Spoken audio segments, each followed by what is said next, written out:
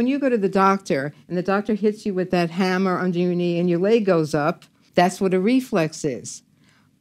But your brain is doing the same thing. And we have learned to worship our brain. So we think anything my brain spits out, I, have to take seriously.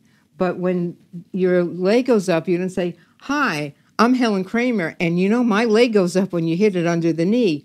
But the thoughts that your brain spits out become your identity. And you think you are that anxious person, and you think you are that angry person. You think you are that person that binges. And I'm here to tell you that these are reflexive thoughts that will be repeated forever, and they're nonsense.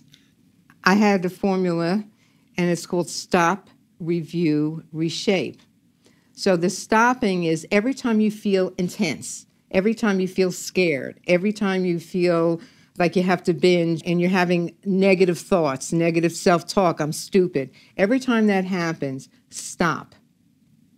Now, it's likely that in the act of stopping, you've already engaged your higher brain.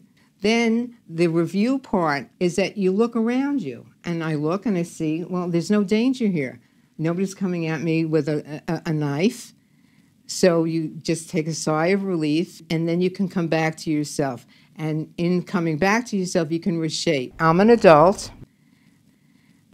Um, I'm not a helpless child. So if you're feeling, if you use the word abandonment, substitute it for something like, I'm disappointed. I wanted to go out on this date and the date canceled.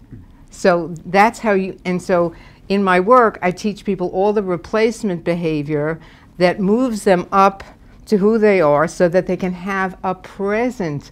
Because if we're constantly reacting with fear, we're reliving our childhood over and over again, and we're carrying that into the future.